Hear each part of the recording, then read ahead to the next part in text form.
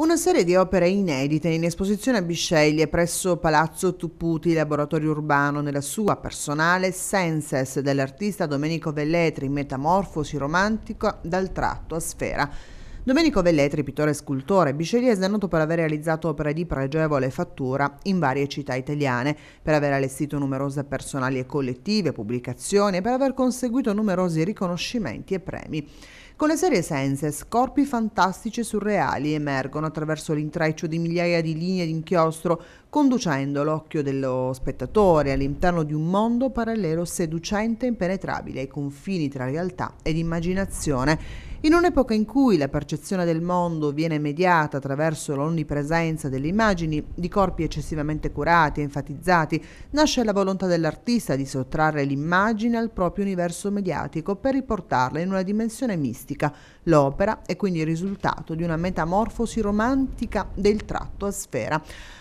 La scelta della penna Bic perché è adatta a seguire i temi della fantasia che si sviluppano distinto senza un precedente bozzetto. Inoltre la penna dà la possibilità di realizzare opere di notevole qualità e raffinatezza, entrando più nel particolare, esaltando il dettaglio, il particolare microscopico, i volumi e le venature.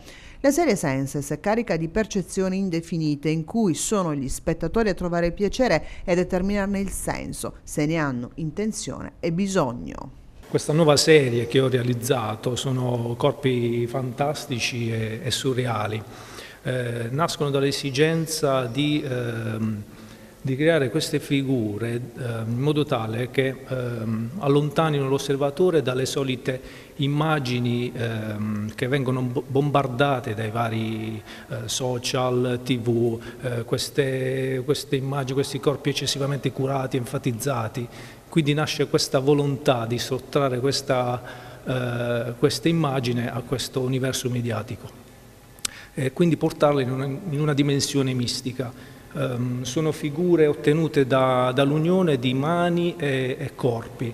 Ho utilizzato eh, la figura della mano come elemento di comunicazione perché la mano ehm, con la sua gestualità comunica, unita anche alla, alla parte del corpo ho, dato vita a questa forma, queste immagini, queste, queste immagini in una dimensione così mistica.